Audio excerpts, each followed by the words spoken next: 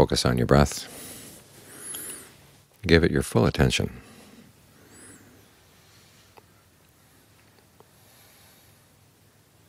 As Ajaan Suwat used to like to say, if you come to meditation having a background in generosity, it, it's a lot easier. You're used to the fact that to gain happiness you have to give first.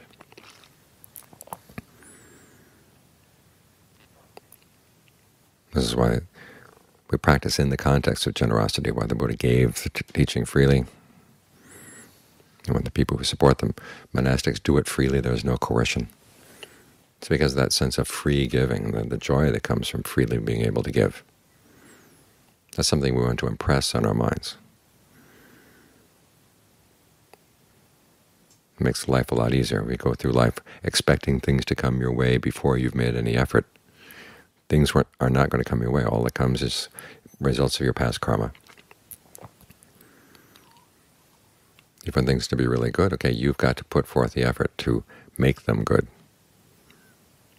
And then the reward comes.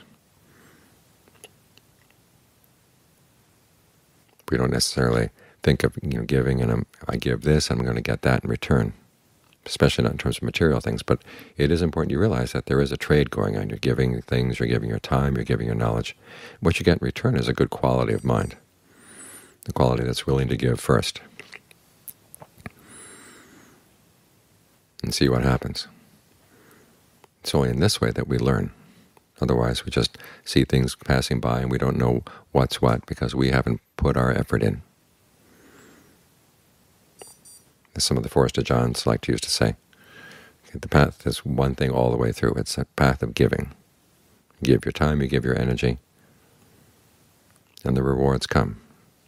The more you're able to give up, the greater the rewards. It may seem paradoxical, we're giving in order to get.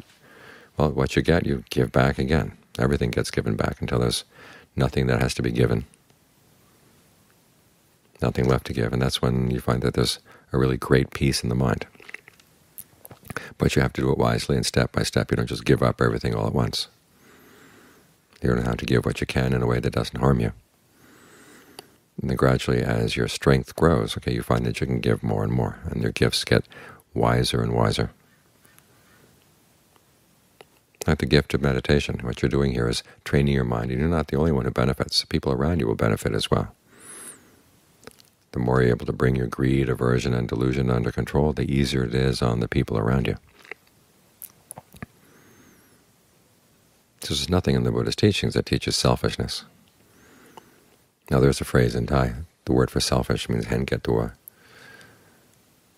which literally means looking after yourself. And as Ajaan Suwat says, okay, there's an intelligent way of doing that and a, and a stupid way. The stupid way is if you're selfish. The intelligent way is you take care of your goodness. You learn how to give. That way you're really looking after yourself. This is a practice that in giving up things we reach long-term happiness, true happiness. And that's a worthwhile trade.